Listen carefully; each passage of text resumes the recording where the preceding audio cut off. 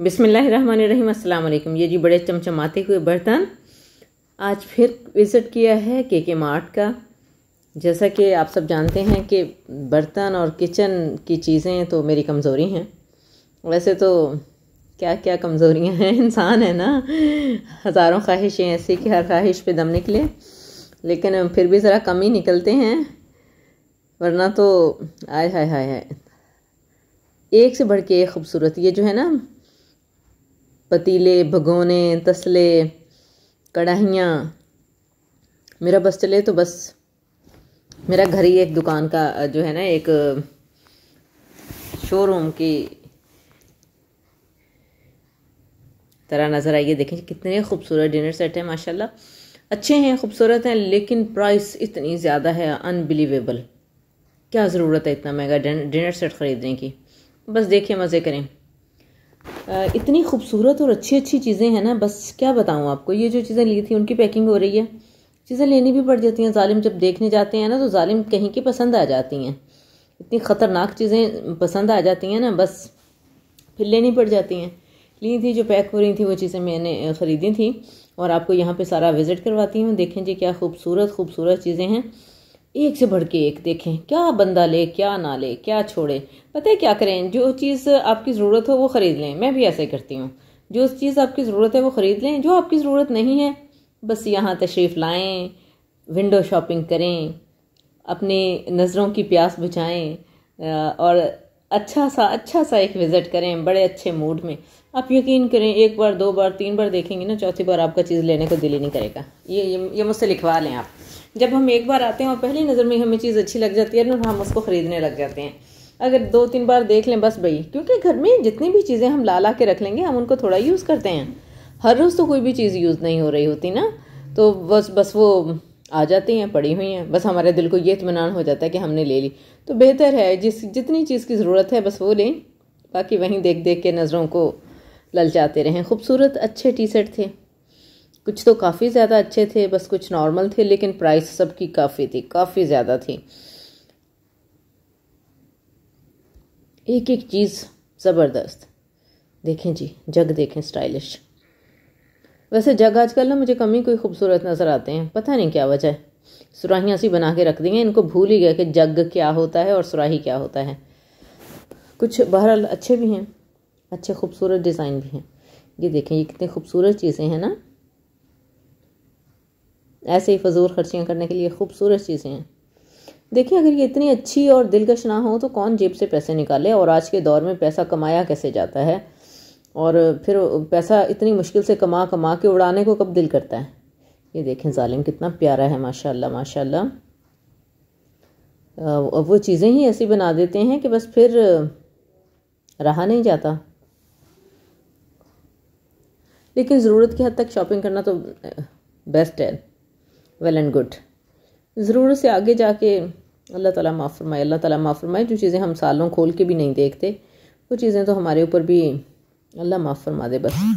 कोशिश करें ना लें ऐसी चीज़ें।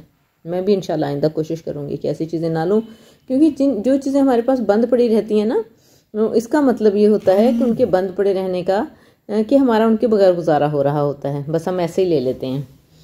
अगर हमारा गुजारा ना हो तो चीज़ें कभी भी बंद ना पड़ी रहें। ये भी अच्छे प्याले हैं ना छोटे छोटे आम सर्विंग के। लेकिन मुझे इनकी समझ नहीं आई थी।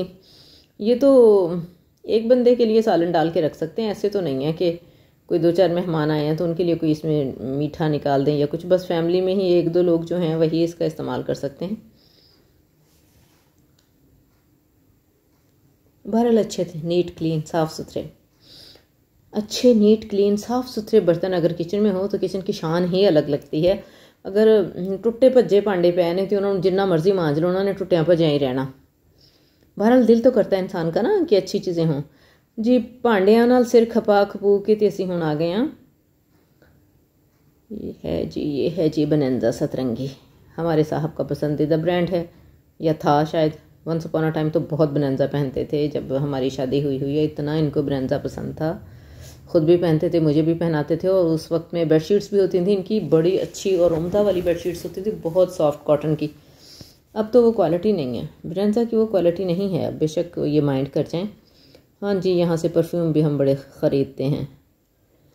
लेकिन पता नहीं इन्होंने क्यों बॉडी स्प्रे नहीं बनाए हुए, इनका कोई बॉडी स्प्रे नहीं है। मेकअप भी अच्छा है, मैं रिकमेंड करूँगी कि आप लें। हम माँ बेटी यही यूज़ करते हैं और अच्छा होता है।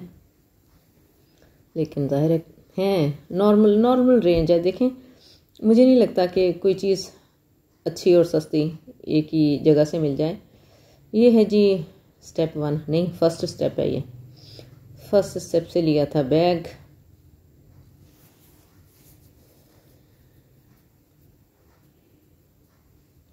गुची क्या जी, आम थोड़ा ही है।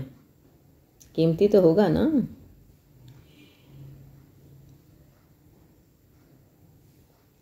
और ये जी हम माँ बेटियों का दिल किया था पार्टी करने को। हम कभी कभी करते हैं पार्टियाँ घर में ही। हम घर में ही दो, ढाई, तीन बंदे जो होते हैं ना, हम मिल मिला के पार्टियाँ कर लेते हैं, माशाल्लाह। के एफ़ सी ऑर्डर किया था।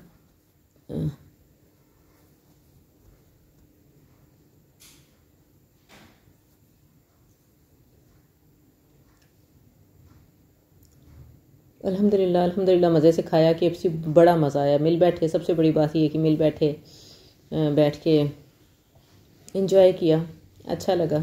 फिर बच भी गया, उससे हमने नाश्ता भी किया। देखें हम कितने किफ़ायत शार हैं। एक ऑर्डर में हमने दो दो डंग टपा लिए। डिनर भी कर लिया और नाश्ता भी कर लिया।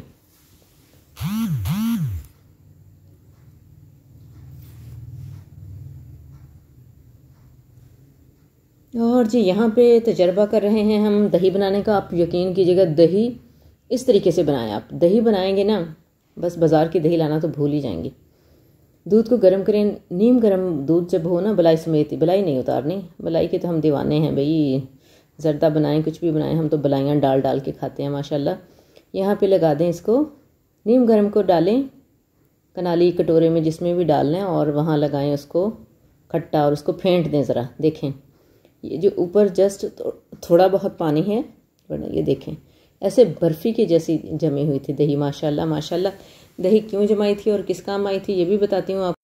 और जी, आपको ज़रा सी झलक आज अपने पार्लर की भी दिखाऊँगी। दही देखें, माशाल्लाह, पहले तो आप दही से लुत्फानंदोज़ हों। फिर दही किस काम आई हमारे, ये ज़रा सी झलकी हमने बनाए थे काले चने वाले चावल, ज़िंदगी में पहली बार और शायद आखिरी बार। और जी, उसके बाद अल्लाह माफ़ करे, फिर भी बना लेंगे, कोई बात नहीं। ये है जी पार्लर, यहाँ पे हो रहा है डाई।